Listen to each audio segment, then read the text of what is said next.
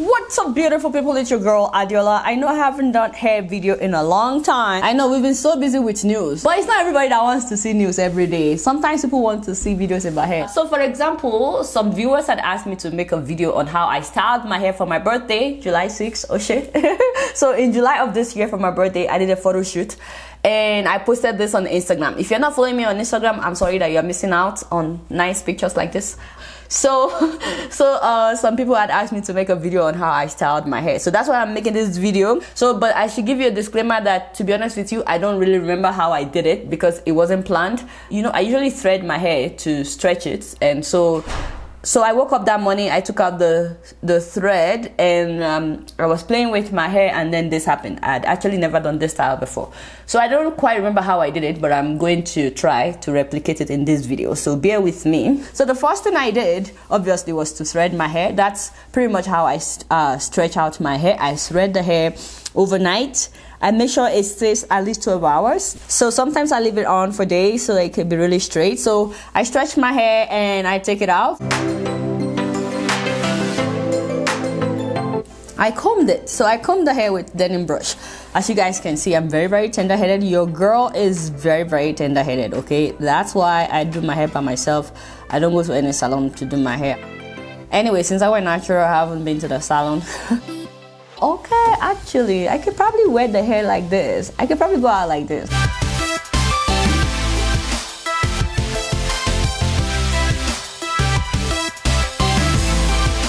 What do you guys think?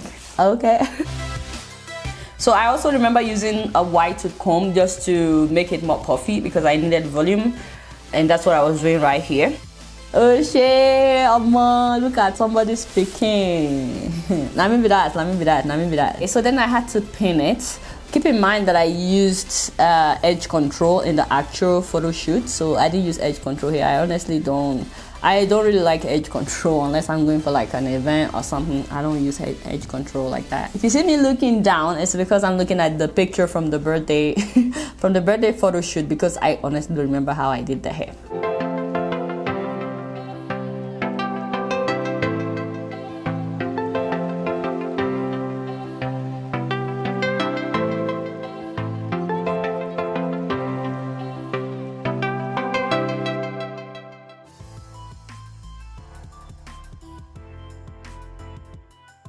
So it was much straighter when I did it for my birthday. So just, you know, take me as I am. So yeah, I just pinned it. I kept pinning it. I'm still pinning it. And then, of course, I kept pinning it. To be honest with you, for my birthday, I did a much better job. I think it was much straighter when I pinned it. And voila, it came out like this. You see, you see. Girl, girl, girl, calm down. Let, can I just, can I talk? Okay, never mind. Yeah, Go ahead. So what I did. I think, I think that's what I did. And whew, girl, you look so fancy. Oh, so it's not balanced. Like this side shoot up more than this side. And to fix that, I would just move it like this. like I would move that back.